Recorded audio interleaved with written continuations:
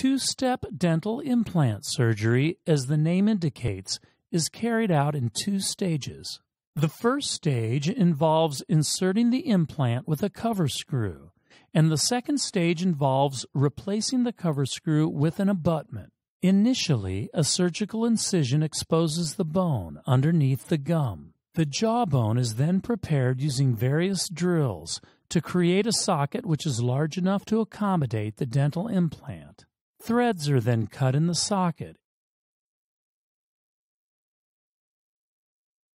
and the implant is inserted.